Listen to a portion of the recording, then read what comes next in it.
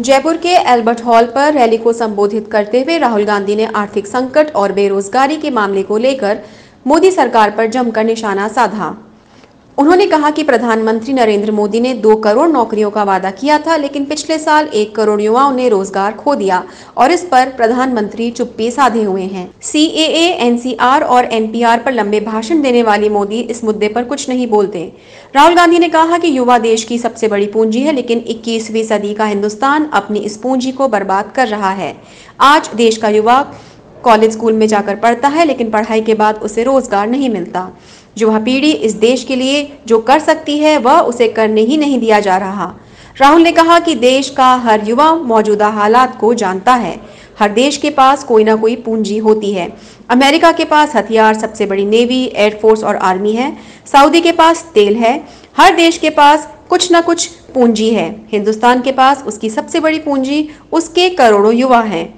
हमारे पास दुनिया के सबसे और अच्छे होशियार युवा हैं। पूरी दुनिया इस बात को मानती है कि हिंदुस्तान का युवा पूरी दुनिया को बदल सकता है।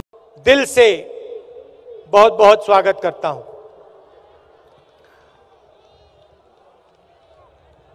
और जो आज परफॉर्मर्स आए हैं, जिन्होंने गाना गाया, उनका मैं धन्यवाद करता हूँ और उनका भी यहाँ स्वागत करता हूँ।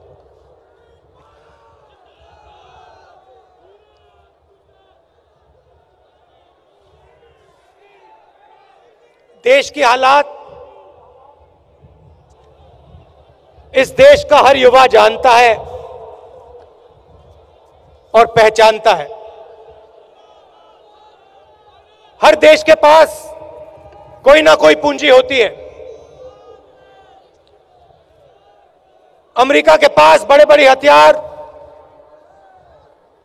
दुनिया की सबसे बड़ी navy air force army Saudi Arabia के पास तेल और हिंदुस्तान के पास आप लोग हमारे करोड़ों युवा, हमारे पास और कुछ नहीं है। हमारे पास तेल नहीं है।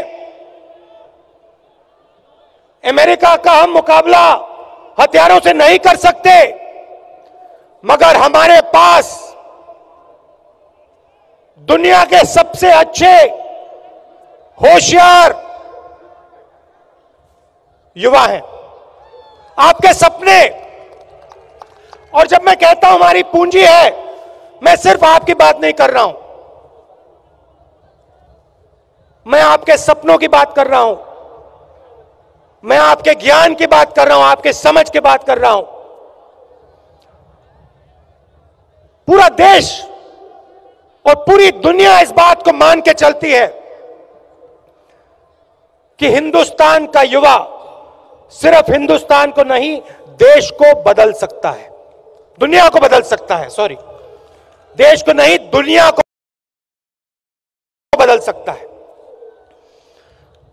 अमेरिका के राष्ट्रपति ने कहा था, ओबामा ने कहा था, चाइना और हिंदुस्तान का मुकाबला अमेरिका नहीं कर पाएगा। पूरी दुनिया से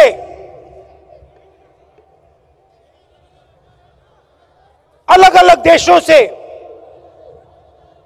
लोग हिंदुस्तान के युवाओं में इन्वेस्ट करने के लिए आया करते थे। अपना पैसा हिंदुस्तान में इन्वेस्ट करते थे क्योंकि वो आप सब में भरोसा करते थे। वो जानते थे कि हिंदुस्तान का युवा हिंदुस्तान को खड़ा कर देगा और पूरी दुनिया को बदल देगा, इसलिए वो यहाँ अपना पैसा लाते थे। और आज मैं स्टेट से दुख से कहता हूँ कि 21वीं सदी का हिंदुस्तान अपनी पूंजी को जाया कर रहा है, बर्बाद कर रहा है। जो आप इस देश के लिए करना चाहते हो और कर सकते हो, उसको आपकी सरकार और हमारे प्रधानमंत्री होने नहीं दे रहे हैं। आज हिंदुस्तान का युवा कॉलेज यूनिवर्सिटी में जाके पढ़ता है, स्कूल में पढ़ता है।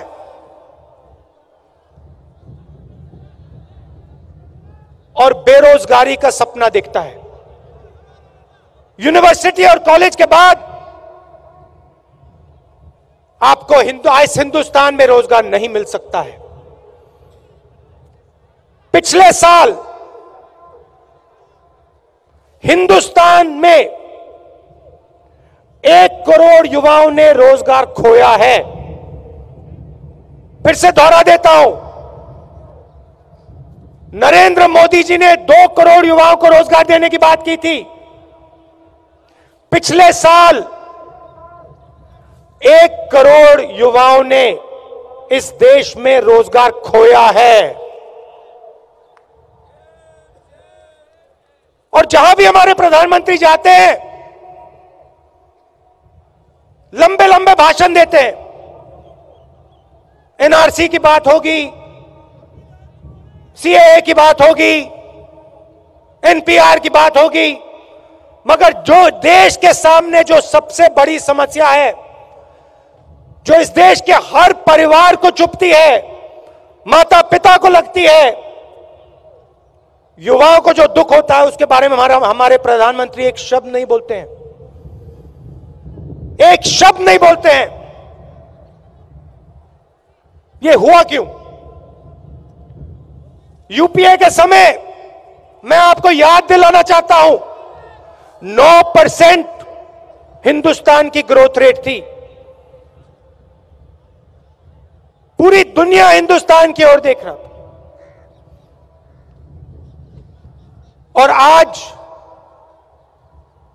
नए तरीके से नापा जाता है जीडीपी नए तरीके से नापी जाती है, तब पाँच परसेंट ग्रोथ है। अगर आप पुराने तरीके से नापे यूपीए वाले समय के तरीके से नापे तो ढाई परसेंट ग्रोथ रेट है हिंदुस्तान का आज। ढाई परसेंट, याद रखिए। शर्म की बात है। यह हुआ क्यों? यूपीए के समय यूपीए के समय हम सरकार का पैसा किसानों को, गरीबों को देते थे।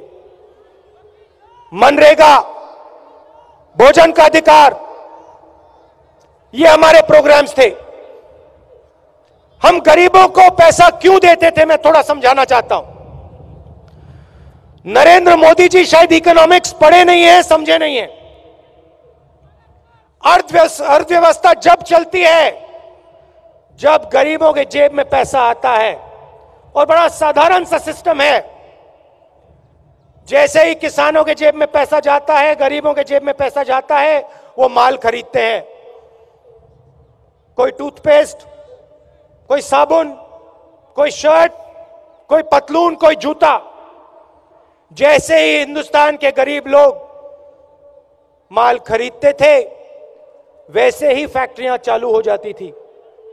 जैसे ही फैक्ट्रियाँ चालू हो जाती थी, कोई फैक्ट्री शर्ट बनाती, कोई पतलून बनाती, कोई सेलफोन बनाती, हिंदुस्तान के करोड़ों लोग माल खरीदते।